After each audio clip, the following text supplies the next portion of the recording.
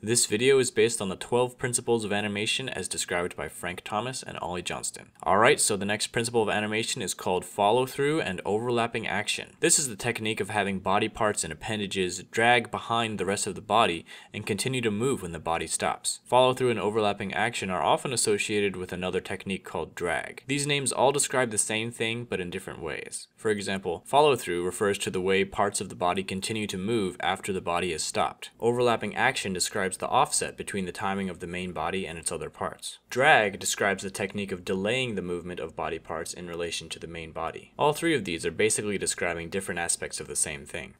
Follow through and overlapping action add a great deal of realism to a character. Here's a character with and without follow through and overlapping action.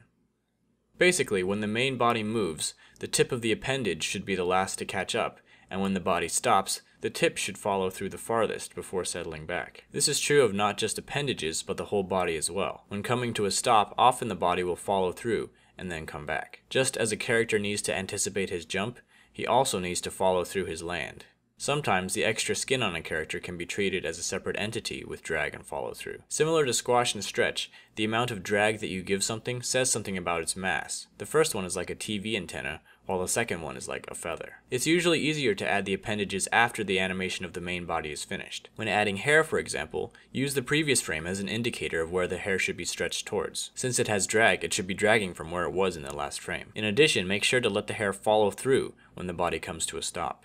Arms are a good place to insert follow through and overlapping action. Have the elbows lead the arm's actions. The elbow comes first, followed by the forearm, and then the hand. This is true even when walking. The forearms drag slightly behind the elbows, and the hands drag slightly behind the forearms. Overlapping action helps to break up an animation to make it more interesting. If we offset the movement of the arms and legs, the animation appears more graceful. If a character is standing up from the ground, we could offset the top half from the bottom half to make it look less easy and more realistic. So that's all I've got for follow through and overlapping action. The next principle is called slow in and slow out. Thanks for watching and I'll see you in the next video.